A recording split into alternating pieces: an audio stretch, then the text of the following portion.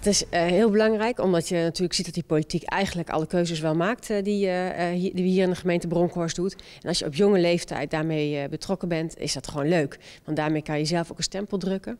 En nou, zo'n 14 scholen hebben hier nu mee besloten over wat er in Bronkhorst moet gebeuren. En dat is ontzettend leuk. Merk je verschil in of kinderen meer betrokken zijn bij de politiek? Nou, wat je merkt is dat daar op school ook uh, goed veel aandacht aan besteed is. Dus de kinderen komen hier goed uh, voorbereid uh, met partijnamen, partijlogo's en voorstellen en plannen. en eigenlijk zie je dus dat al die groepen daar heel enthousiast in meegaan.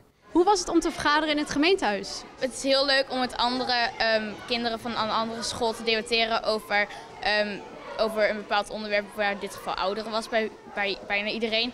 En um, daarover om te scheiden voor 250 euro. Ik vind het leuk om vragen te beantwoorden. En ik vind het ook heel leuk dat ik in de kinderraad zit.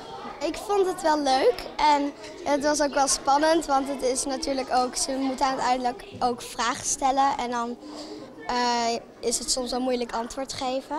En dat is soms wel lastig. Wat proberen jullie nu de leerlingen mee te geven? Wat is het belangrijkste?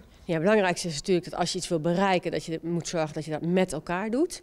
Uh, en dat je altijd moet kijken van, ik kan wel iets willen, maar als de rest dat niet wil, ja, dan komen we nergens. Dus hoe krijg je het nou voor elkaar dat je dat gezamenlijk voor elkaar krijgt? Nou, en dat is weer goed gelukt. Wat heb je er nu precies van geleerd? Hoe je samen met anderen een uh, tegenstrijdige antwoorden kan geven bij uh, best lastige vragen. Het belangrijkste is dat je ook met teleurstellingen om moet gaan.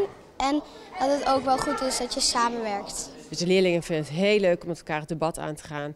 Uh, elkaars voorstellen uh, goed kritisch te becommentariëren, vragen te stellen. En ik ben ook echt onder de indruk van uh, wat ze hier met elkaar neerzetten.